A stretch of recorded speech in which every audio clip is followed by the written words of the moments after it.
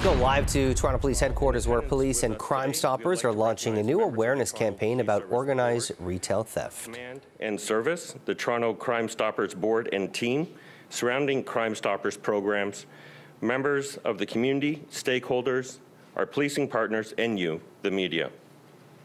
Thank you all for your continued support and partnership in the Toronto Crime Stoppers program. At this time, I would like to introduce the Chair of the Toronto Police Service Board, Ann Morgan, to share her remarks.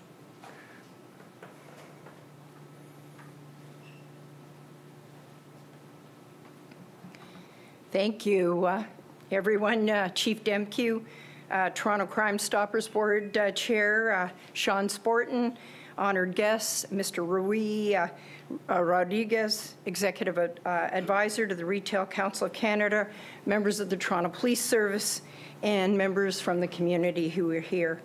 On behalf of the Toronto Police Services Board, I'm pleased to be here today for the Organized Retail Crime Campaign Media launch, helping to bring awareness to an issue of extreme importance. Today's launch provides an excellent opportunity to shine a spotlight on a crime many of us don't really know about, but one has a tremendous impact on both our communities, but also on our safety. Organized retail crime refers to the theft and resale of merchandise from retail stores, a crime typically carried out by organized groups and not what we know as um, individual shoplifters. The effects are both varied and numerous, and they are devastating to the community. Organized retail crime poses significant safety risks to both store employees, consumers, and it leads to the sale of both stolen and counterfeit goods, some of which can be dangerous, expired, repackaged, defective, or incorrectly stored. We often think of high-end items, uh, but this includes things like baby formula, over-the-counter medications, and other health and beauty items, which can uh, become a risk to individuals who purchase these off-market.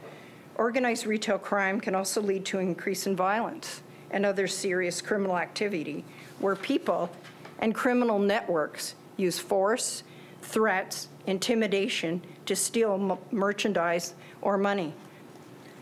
In addition to defrauding retailers, threatening workers, decreasing choice, and increasing cost to consumers, many of these organized retail crime networks use their illegal proceeds to fund human trafficking, drug trafficking, and even terrorist organizations.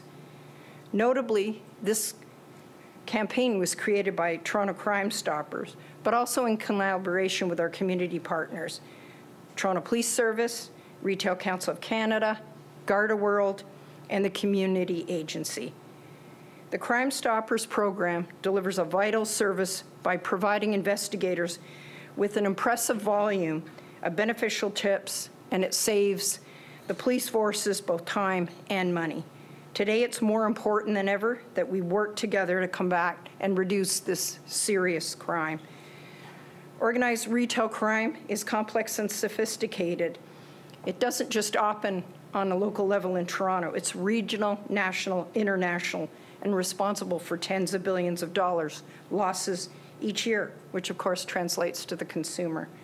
In order to be successful, the community response must be complex, sophisticated, and based on a comprehensive, multi-sector, and fully collaborative approach. Our board's very proud of the Crime Stoppers program. It is an extraordinary example of a power of a successful partnership with the police, community, and Crime Stoppers themselves.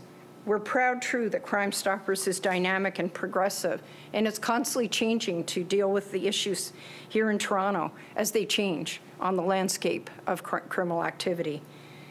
Since its original campaign in 2013, Toronto Crime Stoppers and its partners have been working diligently to raise awareness and deter criminality related to organized retail crime.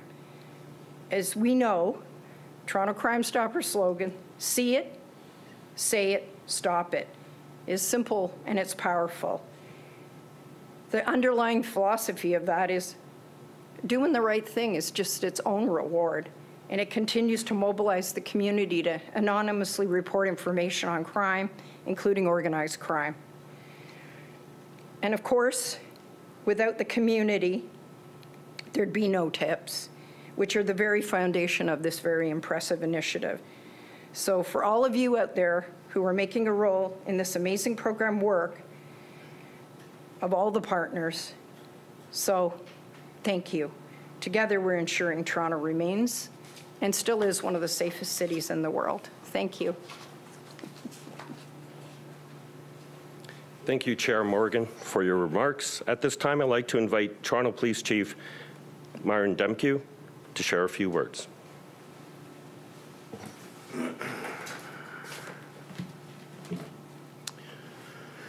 Good morning, everybody, and uh, thank you, Constable O'Neill, for uh, looking after uh, coordinating today's efforts, and thank you, uh, Mr. Sean Sportun uh, from Toronto Crime Stoppers um, for the amazing work both of you are doing to help raise awareness on the impact of organized retail crime.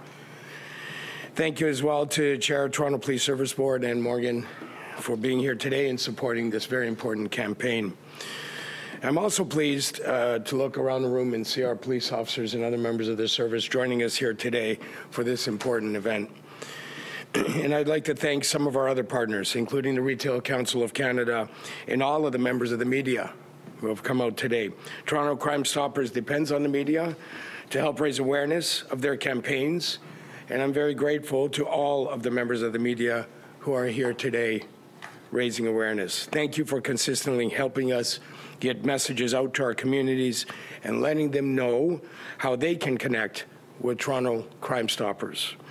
Organized retail crime is costing Canadian businesses $5 billion a year. And the campaign slogan, It Costs Us All, really drives home an important point. These crimes are, in fact, costing all of us because they drive up the prices on products that we purchase on a regular basis. Organized retail crime may not be something that the average person thinks about very often. However, it is a growing problem across Canada, and it impacts all of us in different ways. Most people will feel the impact as the costs of commonly targeted products continue to rise disproportionately. For others, organized retail crime will impact their health, their safety, and their well being. For example, it's estimated that two out of every five organized retail crimes involve violence. These are not victimless crimes.